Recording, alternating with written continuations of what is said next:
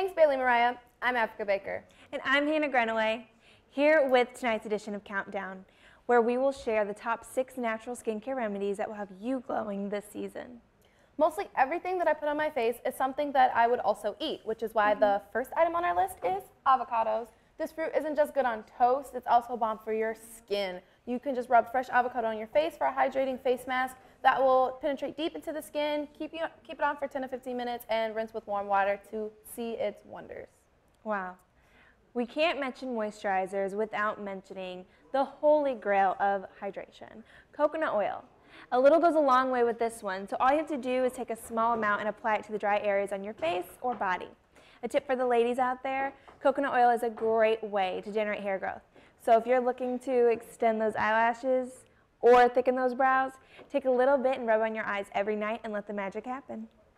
Moving on to number four on our list, we have apple cider vinegar. While it's not the most fragrant of the natural skincare remedies, it is packed with alpha hydroxy acids that helps remove dirt and grime from your face.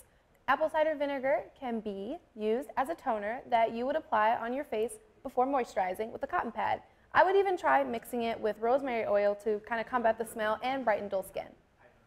Speaking of brightening skin, berries are great ways to exfoliate dry, dead skin.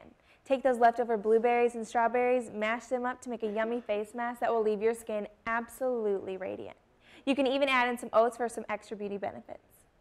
If you prefer a more gentler of the exfoliates, coffee is another great way to perk up your skin. Coffee contains a healthy dose of antioxidants that promote blood circulation and leaves your skin feeling and smelling great. Lastly, if you have any roses left over from Valentine's Day, which I know they do, take them and create the guru of all skincare remedies and number one on our list, rose water. Rose water is a great way to hydrate and soothe skin.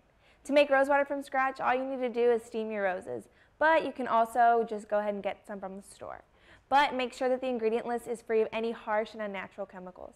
And you know, I think that's the most important takeaway from mm -hmm. today's countdown. When you're buying skincare products, you want to make sure that they are made up of as few ingredients as possible because if you don't want to eat it, you probably don't want to put it on your face either. But that's all we've got for tonight. Once again, I'm Africa Baker. And I'm Hannah Greenaway. Back to you guys.